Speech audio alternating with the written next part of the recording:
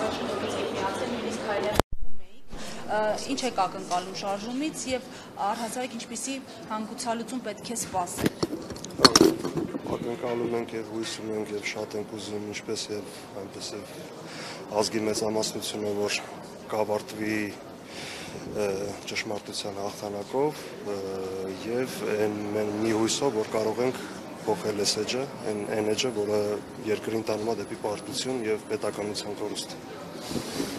Եվ մշակութային գործիչներն այսօր ինչ կարող են առաջարկել Սրբազան։ Ոյ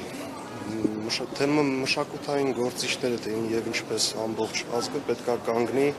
այս շարժման կողքին, եթե մարդիկ ուզում են պետություն չկորցնեն։ Ես վստահ եմ, որ այն ճանապարհով, որով գնում է այսօրվա իշխանությունը,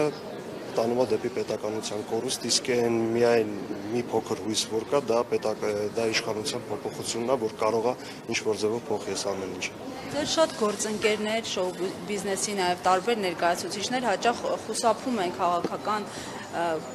կամ ազգային հարցերով դիրքորոշումներ հայտնել։ Դուք չեք վախենում թիրախավորվելուց։ Ես վախենում եմ դրա համար եմ ըստեղ։ Ես ավելի շատ վախենում եմ պետականություն կորցնելուց, քան թե ինչ որ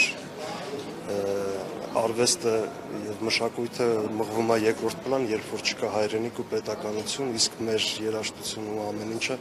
պետք չի ոչ ոքին, երբ որ մենք ունենք պետականություն։ Ես վախից եմ այստեղ։ Իսկ որպես երիտասարդ մշակութային գործիչ դուք ձեր ծրագրային որևէ դրույթ կետ ունեք ներկայացնել այսօրվա հանդիպման ընթացքում։ Չէ, անկեղծ ասած։ Ոչ, ես եկել եմ ներկա գտնվեմ, ներկայություն եւ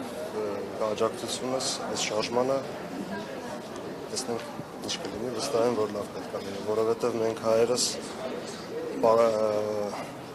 պարտականություն ունենք հաղթել։